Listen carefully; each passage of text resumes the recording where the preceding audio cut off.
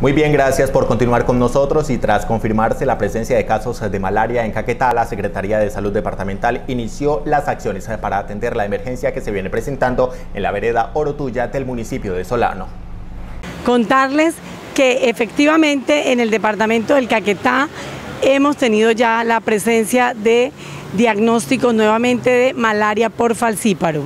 Tenemos Inicialmente se diagnosticaron dos casos de malaria por falcíparo en la IPS de Cartagena del Chairá, en la cual en la investigación epidemiológica se estableció que la procedencia de estos casos eran del municipio de Solano, de la vereda Orotuya, y efectivamente eh, toca hacer una intervención en esa zona.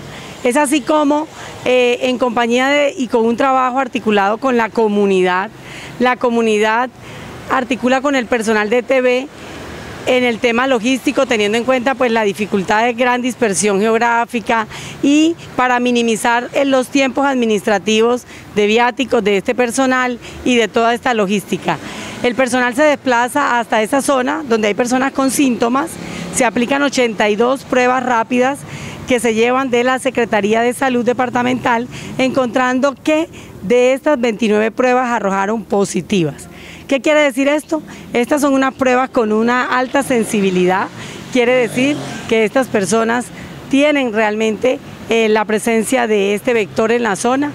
En este momento ya la Secretaría se encuentra desplegando el plan de acción, el cual consiste en, uno, alertar a todo el personal médico para que toda persona con síntomas de, de paludismo sea realizado el examen de malaria que estas áreas, teniendo en cuenta que estas áreas siempre han sido endémicas para esta patología. Y a todas las EPS para que garanticen y el abastecimiento de medicamentos en cada municipio, las, toda la red atención diagnóstica y lo que se requiera para el manejo de los casos. De igual manera, desde la Secretaría se está programando la intervención que tiene en donde se incluye toda la investigación entomológica, la profesional, debe ir hasta allá, hacer la verificación y la búsqueda del vector.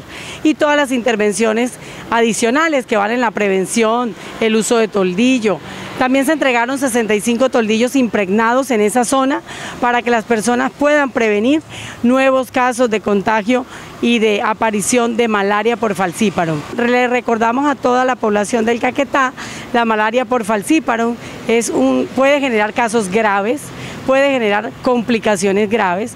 Por eso es importante no olvidar que la principal herramienta de prevención en el caso de la malaria está en el uso del toldillo y en la eliminación del vector. Entonces, nuestro equipo de ETV esta semana estará haciendo ya toda la terminación y culminación de todas las acciones a realizar. Es así como si usted tiene síntomas como fiebre, cefalea, dolor de cabeza, tiene ah, dolor articular y vive en estas zonas endémicas, puede en la IPS más cercana solicitar su examen de malaria.